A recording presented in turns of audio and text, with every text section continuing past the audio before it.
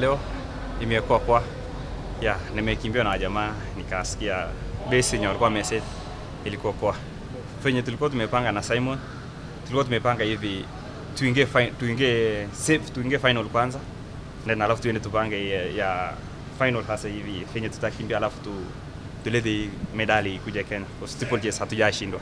Ah, kwa hii race imekuwa nimekuwa comfortable Kwa nilisikia wa jamaa base yao ilikuwa sawa. Sasa ya nimekuwa tu comfortable cause nilikimbilia nyuma. Kwa wings, kwa wa Kenya wenzangu ningewaambia hivi wako na hopes na steeplechase cause walikuwa wamesema ya steeplechase tumeanza kupigwa. Sasa Tunaambia naambia wenzangu we, we, wa Kenya ndio sasa tumekuja na moto steeplechase tunarudisha ikuje nyumbani. Yeah.